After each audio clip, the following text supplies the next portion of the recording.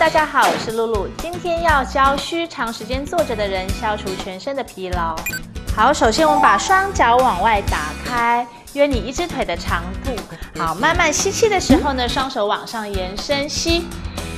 好，吐气的时候呢，上半身往下，双手交叉，再一次吸气往上，and 吐气，再次吸，and 吐气。好，上下上下约五到十次，and 吐。好，最后吸气，上半身在上方停留一下下，胸口朝正上方，保持你的呼吸。二、三、四。五，好，慢慢的吐气，放松。其实长时间的久坐比走动还要更累哦，让我们就来做瑜伽舒缓一下吧。